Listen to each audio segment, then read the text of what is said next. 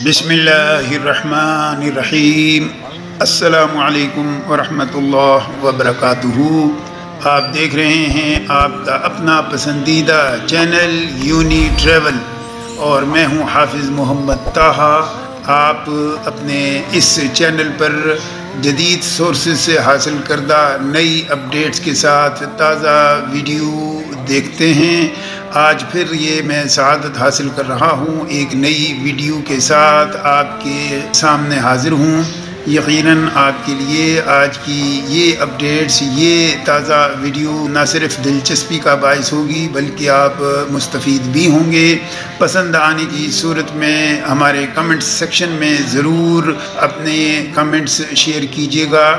آج میں آپ کو بتانا چاہتا ہوں کہ بہت سے زائرین عمرہ جو عمرے کے حوالے سے مناسب عمرہ ادا کرنے کے حوالے سے سعودی عرب میں مقیم ہیں، وہ طواف کرنا چاہتے ہیں، لیکن مکے میں، حرم کعبہ کے ارد گرد مطاف میں بہت رش دیکھ کر پریشان ہوتے ہیں۔ بعض بزرگ حضرات جو ہے وہ زیادہ لمبا طواف نہیں کر سکتے، وہ بہت قریب قرب و جوار میں صرف بیت اللہ کے طواف کرنے میں سہولت محسوس کرتے ہیں، لیکن رش کی زیادتی کی وجہ سے یہ ممکن نہیں ہو رہا، تو ان کو تھوڑی سی کوشش کرنی پڑے گی۔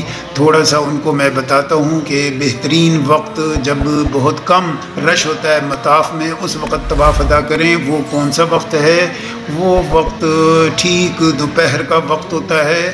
جب ظہر سے گھنٹہ ڈیڑھ پہلے تقریباً ساڑھے گیارہ سے بارہ کے درمیان آپ مطاف میں تشریف لے جائیں اور وہاں جا کر اپنا طواف کریں۔ انشاءاللہ العزیز رش کم ہوگا۔ البتہ گرمی کی وجہ سے لوگ کم ہوتے ہیں تو آپ اپنی چھتری، اپنا امبریلا ساتھ لے کر جائیں اور سایہ اپنے اوپر قائم رکھتے ہوئے یہ طواف مکمل کریں۔ اس طرح آپ کی عمرے میں آسانی ہوگی، رش کم ہوگا اور مختصر دائرے کی شکل میں طواف مکمل ہو سکے گا۔ دوسرا وقت رات کو ڈھائی بجے تین بجے کا ہے وہ بھی کم رش ہوتا ہے، اس وقت آپ بہترین طریقے سے عمرہ ادا کر سکیں گے۔ طواف بیت اللہ کے بہت قریب، آسانی سے ادا کیا جا سکتا ہے۔ تو یہ آپ کے لیے ایک سہولت کا اصل وقت تھا جو بتانا ضروری سمجھتا تھا۔